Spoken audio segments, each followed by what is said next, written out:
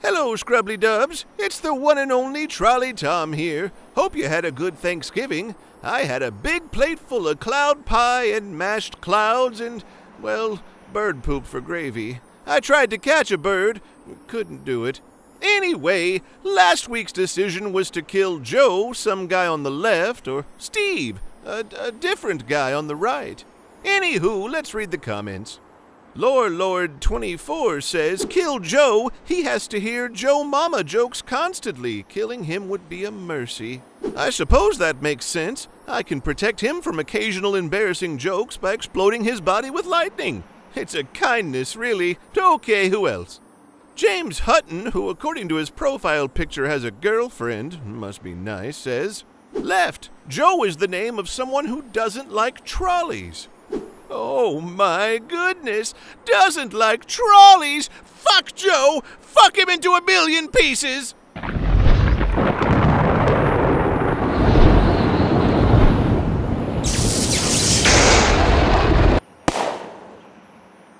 Disliking trolleys is worse than disliking dogs. What is a trolley if not a big metal dog with wheels? You say, Here, boy, and it comes to you and runs over you with all the guts and the entrails. Good boy. Bad boy. What? Tom, did you just kill Joe? Um, no. I saw you do it, Tom. Uh, no, you didn't.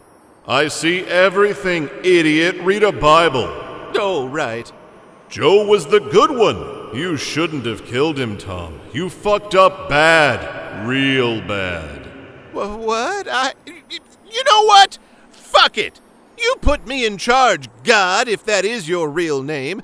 You gave me these wings and these hand zappers. You can't give someone a job and then call them an asshole every time they do it.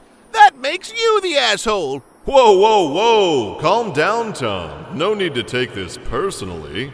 It is personally, dagnabbit.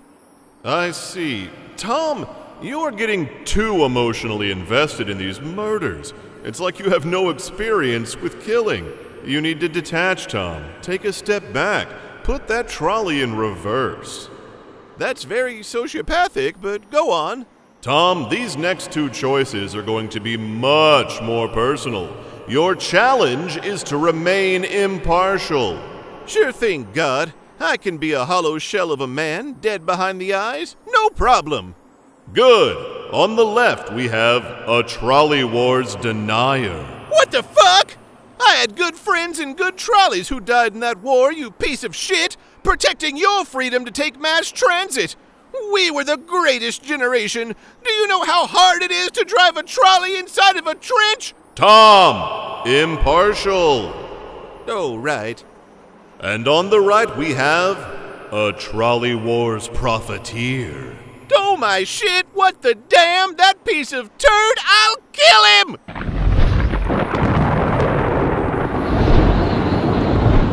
Tom, knock it off. Oh, sure thing, boss. I'm just happy to be here, happy to have a job. Tom, I appointed you to this position, and if you do poorly, the people I report to won't be happy. Wait, who do you report to? Don't worry about it, Tom. It's aliens, whatever. Okay, let's just breeze past that then. Regardless, Tom, if it's bad for me, it's double bad for you. Make your choice. Got out? Oh shit! I think this job I never wanted may be on the line! Help me not fuck this up, my yubby tubs! God's really riding my ass here. Do I vote left and kill the guy who denies the sacrifices me and my brothers made to put a trolley on every corner in America? Or do I vote right and kill the guy who made a quick buck off of the trolley related suffering of the finest men to ever pull a lever? Left or right, their fate is in your hands, as is mine. Okay, bye!